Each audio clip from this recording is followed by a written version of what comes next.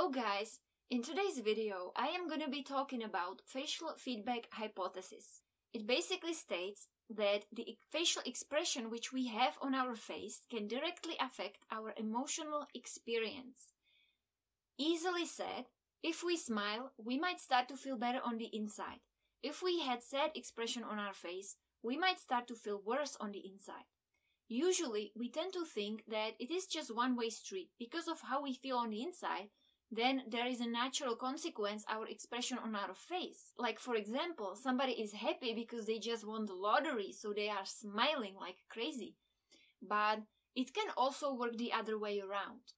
And how does this even work? Well, the contraction of our facial muscles when we smile on, or where we have sad expression on our face can communicate not only to other people but also to our inner state. Philosopher and psychologist William James and physician Carl Lange believed that our conscious experience can be built upon the physiological changes in our bodily states. In 1988, there was this interesting experiment by Strack.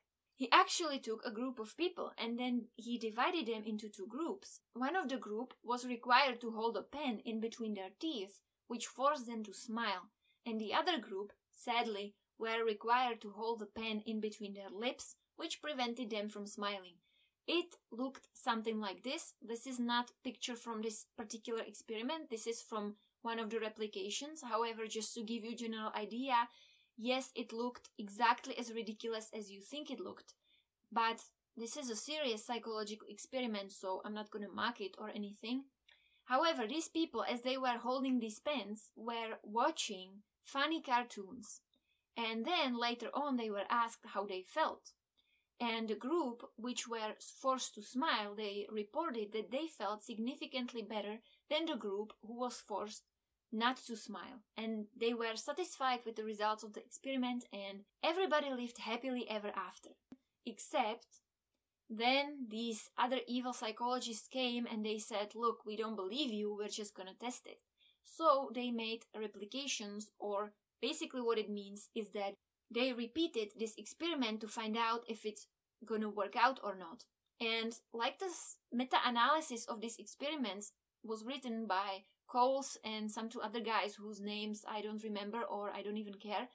And they summed up this research and there were many experiments which actually said that this doesn't really work and there was not found a significant difference. And all of this is gonna be linked below. Uh, maybe now you're scratching your head and you're wondering, okay, so what am I supposed to take from this? And, well, I don't know, take whatever you want. I just wanted to be right with you, you know? People like to be told the truth. What the truth? However, it made me feel really weird, so what I did is what I like to do a lot of the times when Western psychologists kind of disappoint me, I like to turn to the East, you know, because on the East, everything is much more beautiful, I would say. Because what Westerners have to test out in their theories and in labs and put a lot of people in one room, which is not something I enjoy, there comes a Vietnamese monk who just sums it all up in one sentence. And I think this is like the epitome of the difference between East and West. And the monk is called Thich Nhat Hanh. This is him. I think he looks really cool. This is exactly how I picture a monk should look like or Lord of the Rings character. And he basically said it in one sentence, and I'm gonna quote him.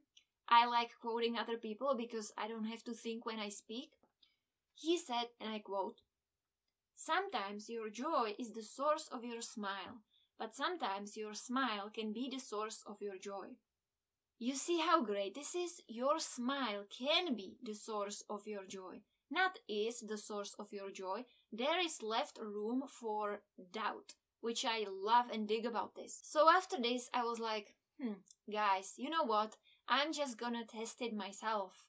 So I made two experiments on myself. The first one, I was smiling for five minutes as I was alone in the house.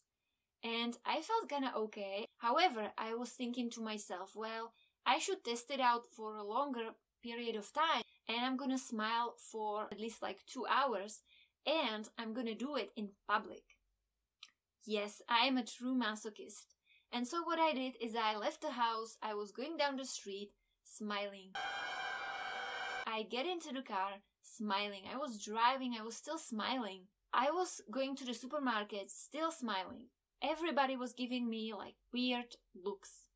They probably thought I was crazy or medicated. Some guys thought I was flirting, which, apart from one case, I really wasn't. But after a while, I just didn't care. I just kept smiling.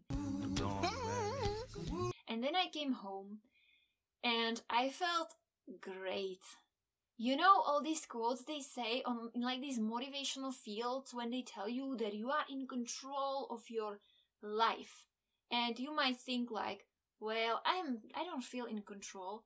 Well, now I can tell you I felt in control. I felt like I am happy. It was like I was high or drunk or something, you know, but I wasn't. I highly, highly, highly recommend do this at least once in your life and try to figure out who was right, the original experiment or the replications.